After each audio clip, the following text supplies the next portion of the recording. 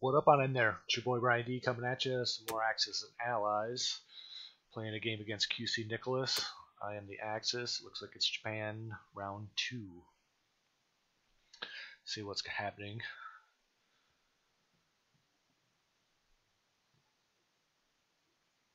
Okay, so what did UK do?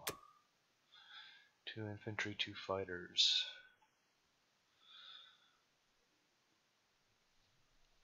So it looks like he's doing the uh, thing, the strategy where UK just keeps buying fighters, and eventually they'll load them up here, um, and then go back and forth from uh, India to Russia for defense. So it's going to be tough. So I will need quite a bit of uh, armor to break that. Looks like he attacked here.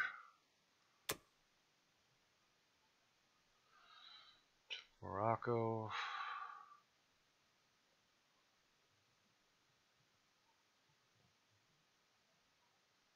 Sea zone 3, ended in a draw. So I guess they didn't lose a fighter that turn.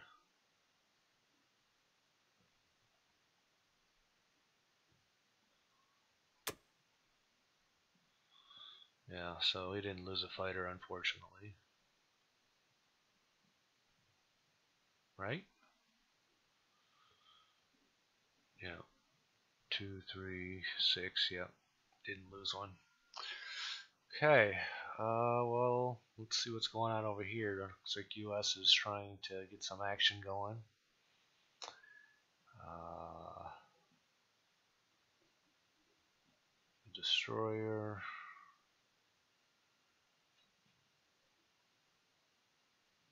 I have a sub here. Or I mean he has a sub there. Uh okay, well let's let's get to it.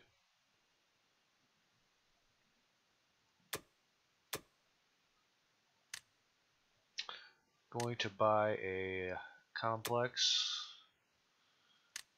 and six units.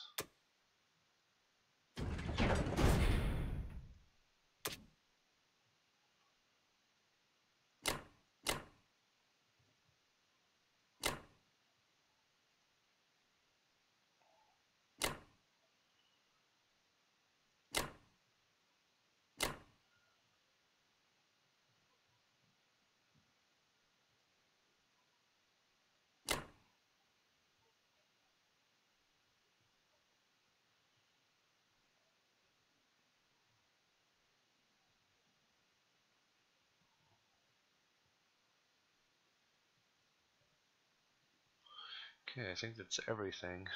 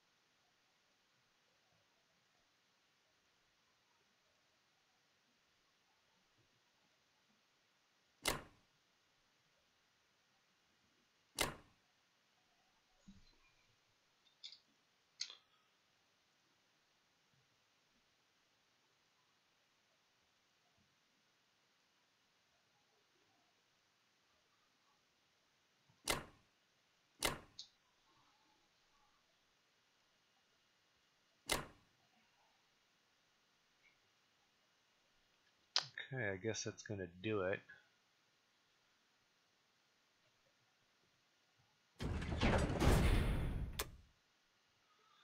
So someone gave me a really good tip, which I've been trying in my games lately, and it seems to, to work out well, is by putting the complex here. You uh, can reinforce your fleet if need be, but it also keeps them from really coming in because if they do, they're they're going to get smacked. Uh, but we'll see what happens. But there's that. I had to land these two fighters over here because again the number one rule is not to lose your capital and I only had six units he only has two but uh, he has some battleship shot and uh, fighters which against six infantry could happen uh, that's why the fighters are there to make sure that I kill everything if he does try to attack, which wouldn't be the best move anyway. Uh, but I do appreciate those of you watching. Keep the tips coming. I always appreciate those. Um, but otherwise, have a good day and see ya.